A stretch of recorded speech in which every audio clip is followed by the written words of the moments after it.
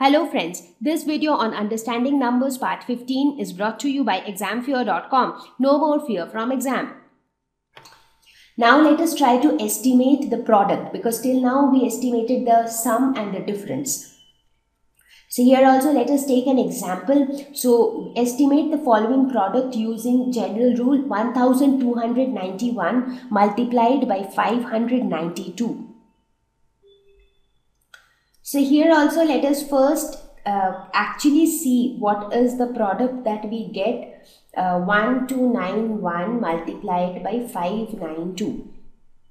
So what we actually get is 2582 11619 6455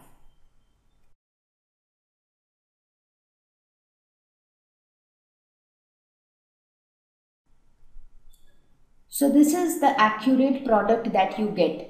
So which is 7,64,272. So now when we estimate these two numbers and find the product, so let's see what do we get.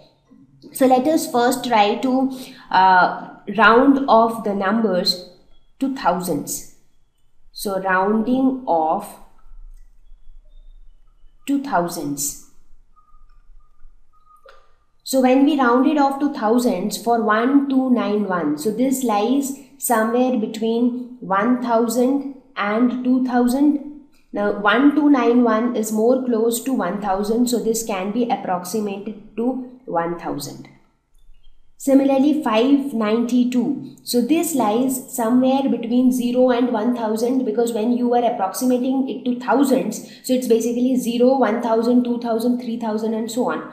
So in that case, it lies closer to 1000. So this would also be approximated to 1000. So therefore, the result that you would get is this.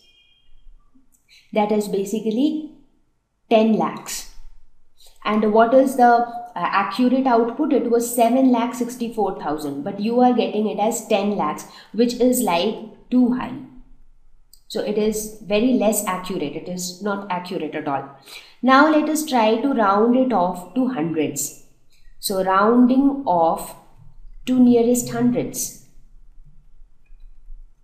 So in that case 1291 this would lie between 1200 and 1300 so 1291 would be more closer to 1300 so this can be approximated to 1300 and 592 this would lie between 500 and 600 592 would be closer to 600 so this can be approximated as 600 so 1300 into 600 will be 7 lakh 80000 now this number is a closer estimate. So this is more accurate.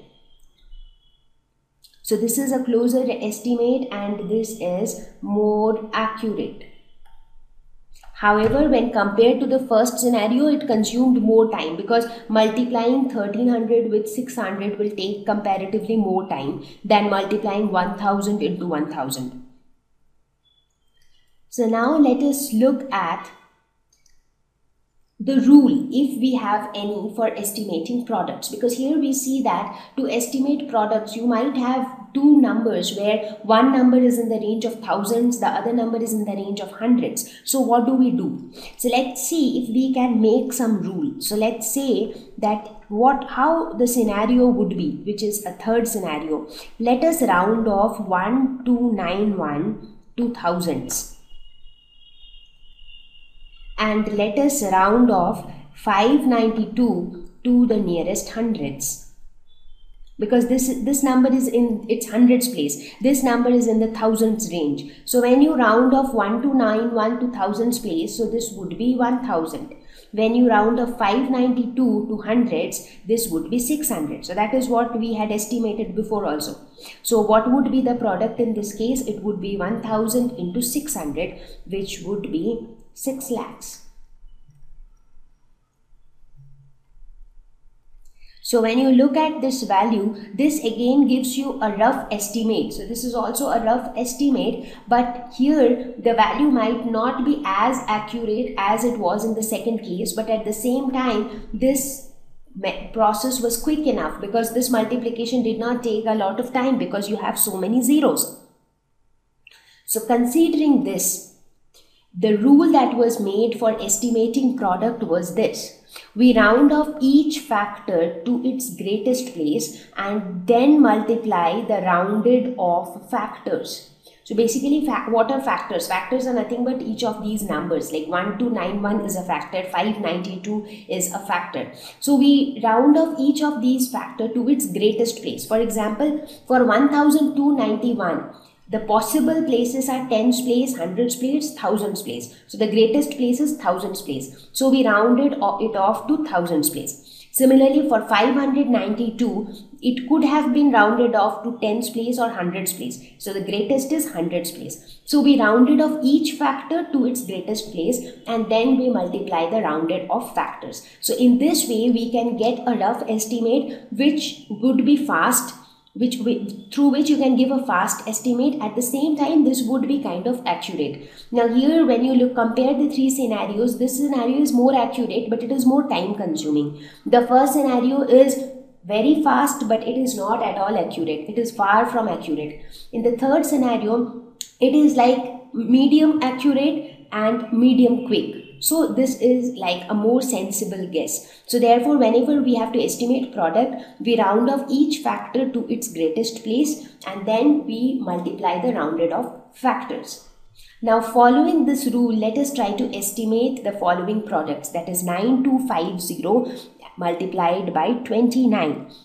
So in this case, where how will we round off each of them? So we round off 9250 that is 9250 to its thousands place.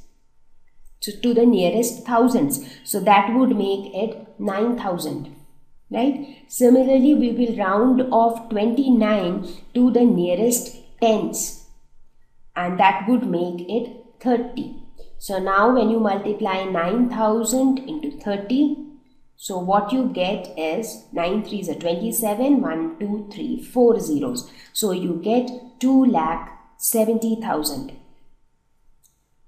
which is a quick calculation and which is kind of accurate because if if you want to see the exact value then just multiply this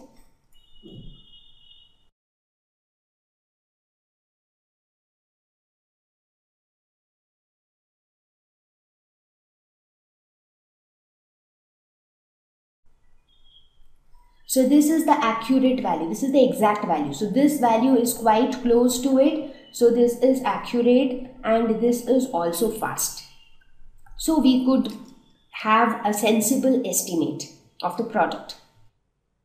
Thank you. Please visit examfear.com for free quality education. You can learn with a simple four-step learning process wherein you can watch video lessons, you can ask your questions, you can refer notes, and you can take a free online test. We have content for class 6 to 12 on physics, chemistry, mathematics, and biology along with practical videos. So please subscribe to our channel for daily updates. Thank you.